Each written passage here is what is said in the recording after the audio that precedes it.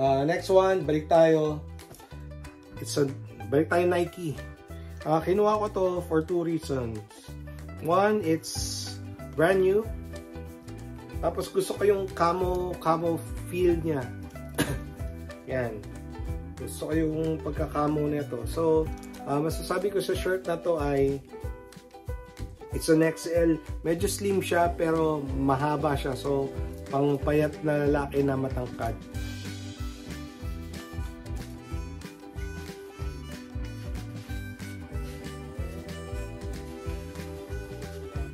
Yan. Ganda. Brand new. Pwede sa maselan. Dry fit. Yan. Pwede sa maselan. Next one. Uh, this one is also made in Peru. It's a size 6. Another Lacoste. mm, okay naman to, hindi naman ganun siya, hindi naman ganito urong niya. So this one, I would say, easy 8 out of 10. Baka pwede pang pumasa na 9. Walang issue sa collar. Yan.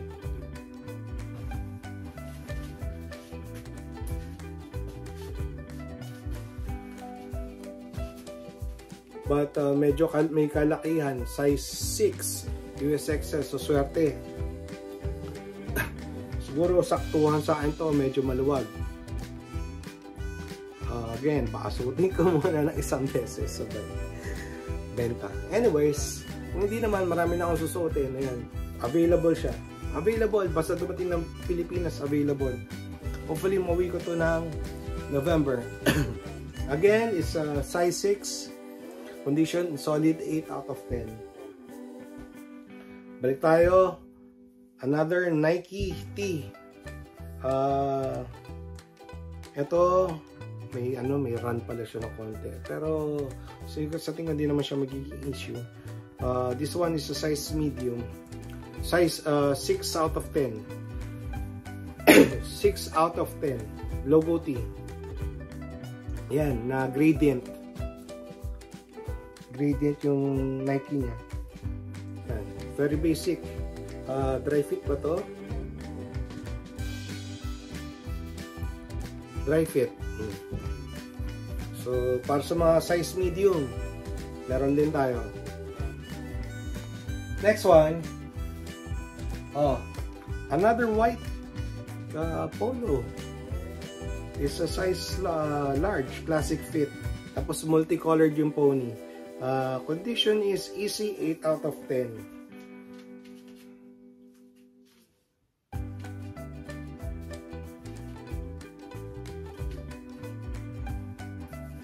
Easy 8 out of 10. Uh, classic fit, parang Pima soft, tapos hindi siya long back. Yan.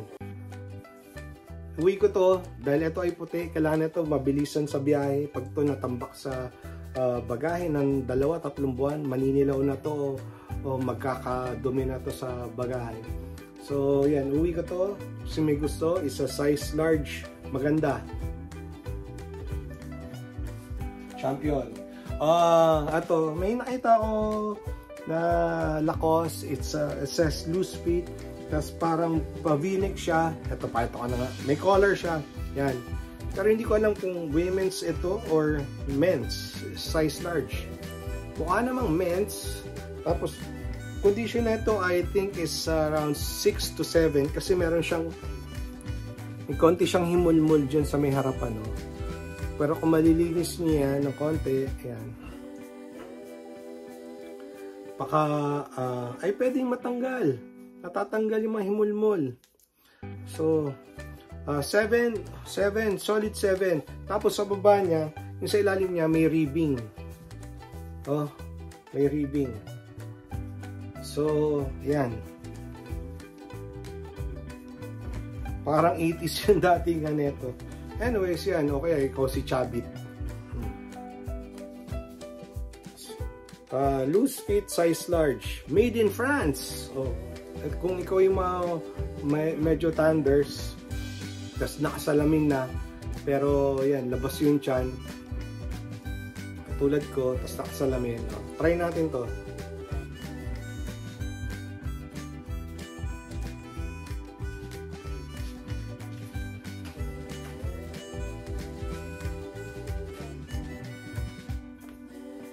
Again, it's a size large, loose fit. Okay. Oh, balik tayo. Basic to. Basic, balik basic. Size sa uh, XL, TG, tall. Tall. TG, tall. Oh, gray. Easy condition, 8 out of 10.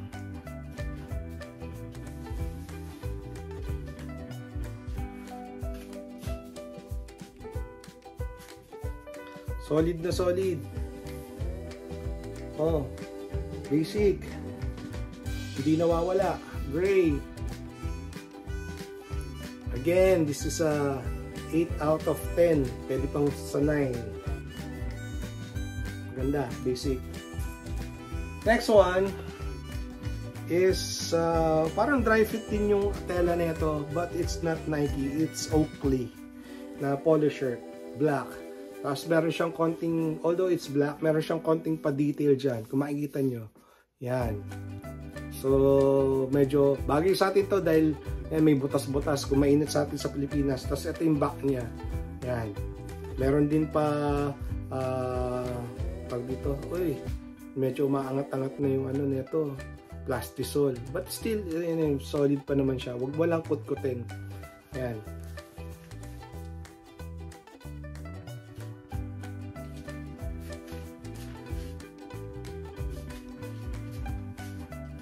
Oakley may plastisol. Solid 7 out of 10. Solid 7 out of 10. Okay. Moving on to the next. Uh, next one is balik tayo na RL. Size large. Long sleeve. Yan. Kinuha ko siya dahil maganda yung kulay. Uh, two buttons made in ano to Sri Lanka.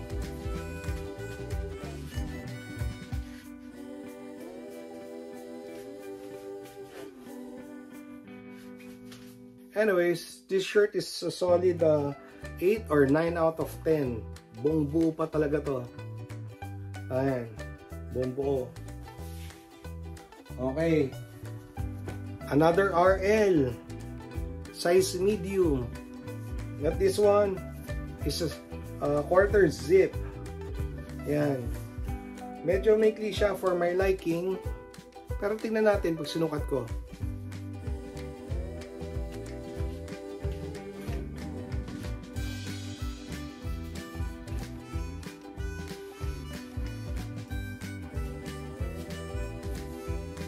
Size medium, bombo pa.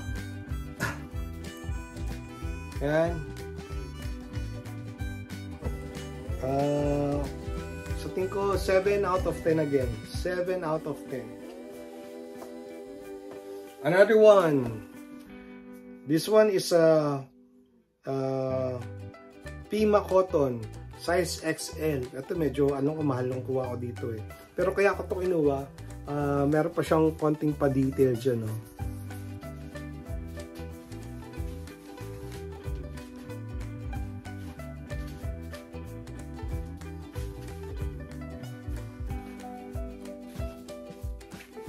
Ayan.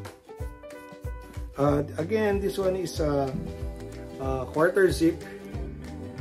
Pero para siyang locks. Ayan. Condition is 8 or 9 out of 10. Solid. Uh, again, 8 out of 10 or 9. Solid to. Moving on to the next. This one is uh, Um, size large, polo. Long sleeve uli. Uh, condition is 8 or 9 out of 10. Gusto ko yung combination ng shirt which is heather gray sa itong parang pa-orange ba yan na logo. So nagpa-pop out kagad talaga siya.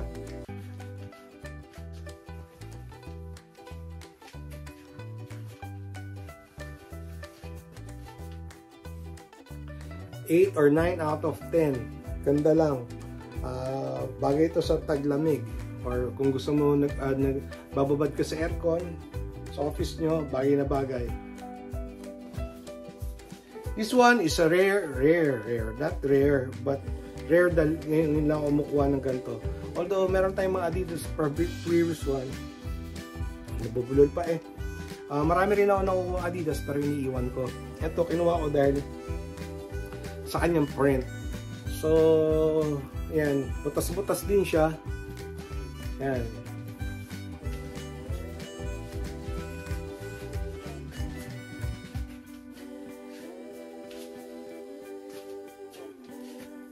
Tapos, yeah. Aero ready. So, para siyang dry fit ng uh, Nike, I guess. Uh, for running daw ito. Size large. So, maganda. Condition is around uh, easy 8 out of 10 or 9 out of 10. Ang ganda niya. Hmm. Next one. Uh, ito, alam ko yung mga kinuha kong ganito, hindi ko napagalaw sa Pilipinas. But it's a penguin long sleeve. Yan. Uh, hindi ko maiwan eh. Size medium. So, sana mapagalaw natin ito sa Pilipinas. Sa ay makasamahan niya pa. Oh.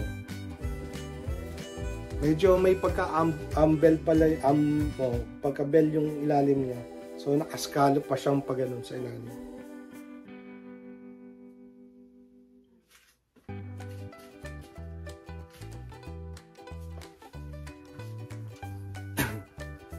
Again, this is a size medium. Next one. Size 6. Ito, hindi ko rin maiwan. V-neck na long sleeve.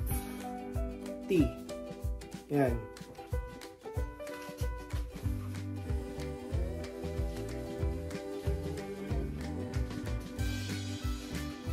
may 1. But the condition is uh, easy 7 or 8 out of 10, I would say. Size 6. Ganda. Ganda naman siya. Next one. Also, oh dito, uh, ngayon ko lang, ngayon lang ako nakita ng ganito. This one is uh, polo, quarter zip. Uh, ito, pakita ko sa inyo. Zipper ko muna. Oh. It's a quarter zip. Pero, meron siyang buttons. So, kung gusto mo medyo iba ah, iba ka. Diba? Sa tingin ko, luma na to. Ang gusto ko dito ay meron siyang uh, leather patch sa kanyang uh, elbow area. Ganda na ito. It's a size large.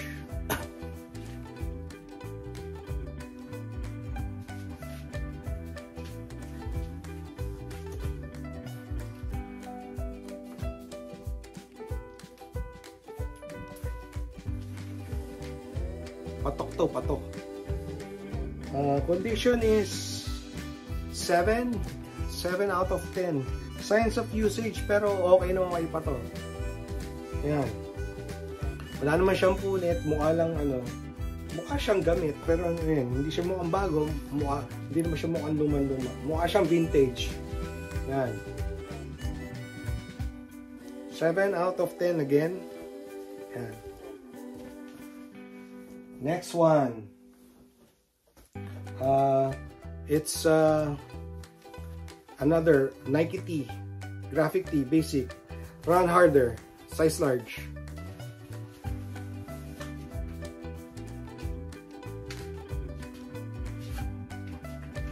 Condition, 7, 8 out of 10.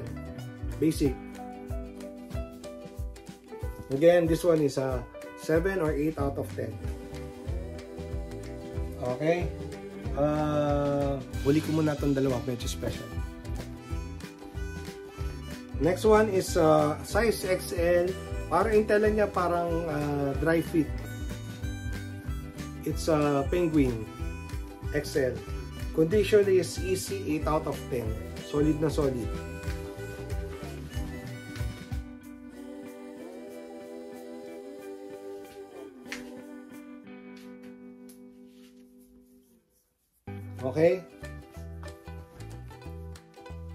7 out of 10. or 8 out of 10.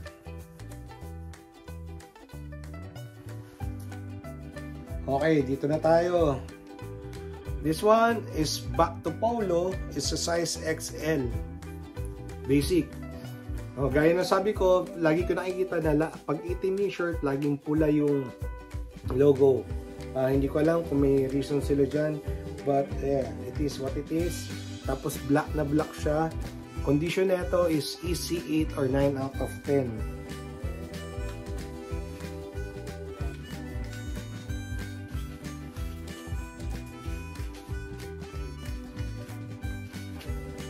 Isa size XL. Ayan. Solid, long back. Walang punit, walang mancha, walang ano. Uh, buong buo. Buong buo. Next one. Also a black one. Also from uh, RL. But this one is a double XL but it's a custom fit. Yan. Uh, big logo plus number 3. Yan. Again, it's a long back. Same condition as the other one. Uh, but this one is uh, uh, again uh, like na I would I would say new pero uh, 8 or 9 out of 10 then easy.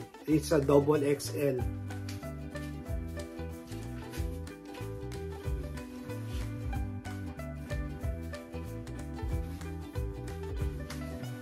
Compared do sa isang uh, uh, XL.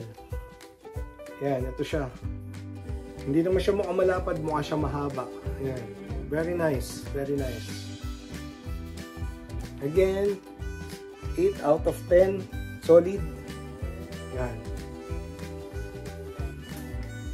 Tapos, nakawa tayo ng ano, uh, again, we have uh, two uh, Levi's jeans. That's all na nakuha natin for the pants. It's a 5'11 size 32 na ang length niya is 30, medyo distress. So pang ano to, pang 5'4 to 5'6, 5'7. Yan, pagka mga 30 in my experience, no, 5'7. Kung gusto mo mabitin, mga 5'8 ka, baka shoot ka pa rin dito. Tapos meron siyang konting uh, uh, paint mark dito. Yan lang, kung gusto mong ano, hindi naman siya ano uh, para sa akin karakter pa rin karakter na nga yan eh. Uh, buong naman siya. Pero ano siya, distress din itsura niya. Okay, so overall, it's good. This one is nice. Ewan ko, tingnan natin kung masukat ko to. Next one is uh, 505, size 36. So, 505 straight yan. Yan, straight, straight yung fit niya. Tapos medyo may konting distress, stress, distressing din dito. May mga konting tama, pa-up ng motorsiklo to o hindi ko alam. But overall, it's still a good pants. I would say this one is 6 or 7 out of 10.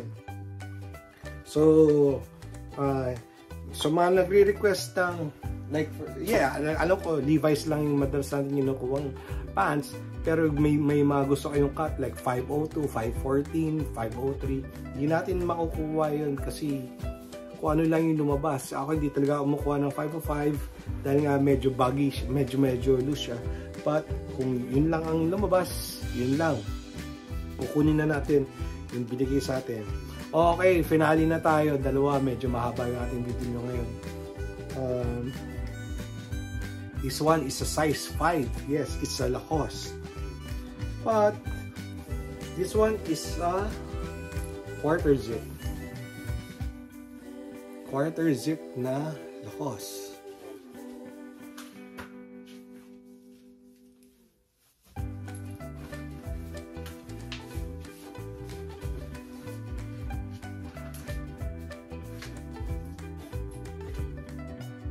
Yan. Condition is easy 8 out of 10 buong buo siya. May mga konting dumi-dumi but I think uh, matatanggal naman siya. Ayan. Ganda. So, uh, uh, regarding uh, uh, Lacoste uh, quarter zip, sa tingin ko pang apat natin to hanggang pang anim na nakuha. Na, o meron tayong apat hanggang anim na available na quarter zip na Lacoste for sale. Uh, this one is a size 5. Again, is a Lacoste. Ito mas maganda daw. So, tingin ko pwede ito pumasa ng uh, 9 out of 10. Although it's not brand new, pero it's looking really good.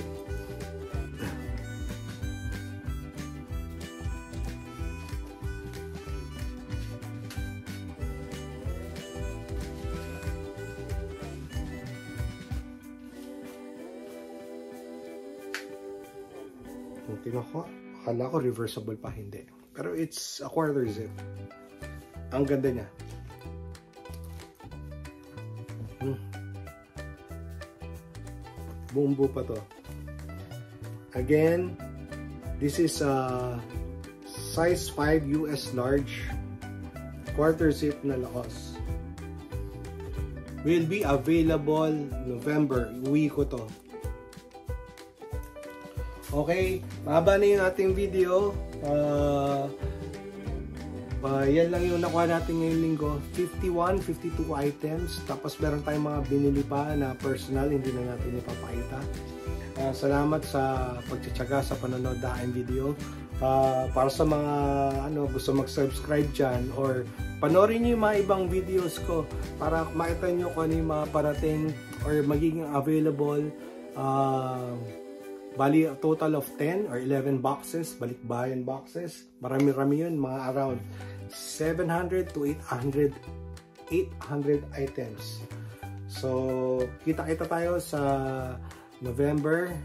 Available na yung karamihan except yung mga eh, last batch na box. O hanggang dito na lang. Salamat sa pagsama. Hanggang sa muli. Paalam!